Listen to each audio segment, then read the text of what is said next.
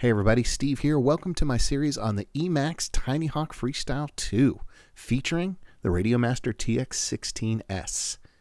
In an effort to make it easy for you to find all of the videos, just check the description below as all the videos are compiled into a playlist and the description below contains the link to the playlist. Welcome to video 5 in this series. Uh, in this video, we're going to set up a little bit of telemetry. For those of you who are still flying line of sight and or don't have goggles yet, uh, we're going to get some essential telemetry brought back to our radio so that we have a clue as to what's going on with the quad and we know when it's time to land. We got this whole thing started in video one where we added the model and bound the Tinyhawk to the radio. In video two, we learned inputs and mixes and uh, got all of our switches set up. In video three, we went above and beyond and we started adding voice cues to all the switches. In video 4, we set all of our endpoints using the output screen on the TX16S. And here we are in this video, we're going to add telemetry. So let's get started. All right, something I'm going to try to do on the radio is I'm going to go into Model, and I'm going to go to the Telemetry page, and I'm going to come down to Discover New Sensors and click on it.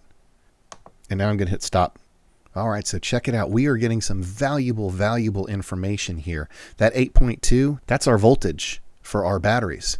And wouldn't it be nice to know back on the ground what our voltage is? Let's do this. And let's go back to this screen right here. All right, so now I'm really going to go off on a tangent on you guys. I'm going to long press here and go to Setup Widgets. I'm currently in the Layout section right now. And what I'm doing is I'm going to press it.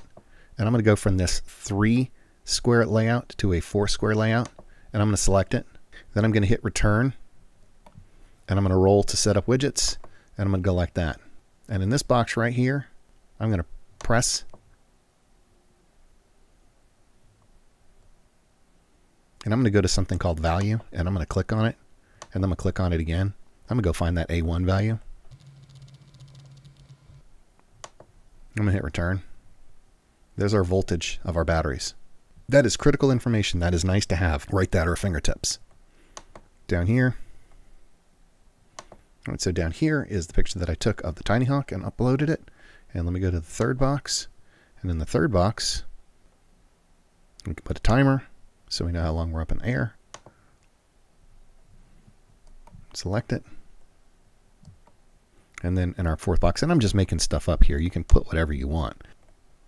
Now I have a video on how to do all this, but just for the sake of put throwing something up there quick, I'm just going to go ahead and throw this up, even though you can't see it. And there we go.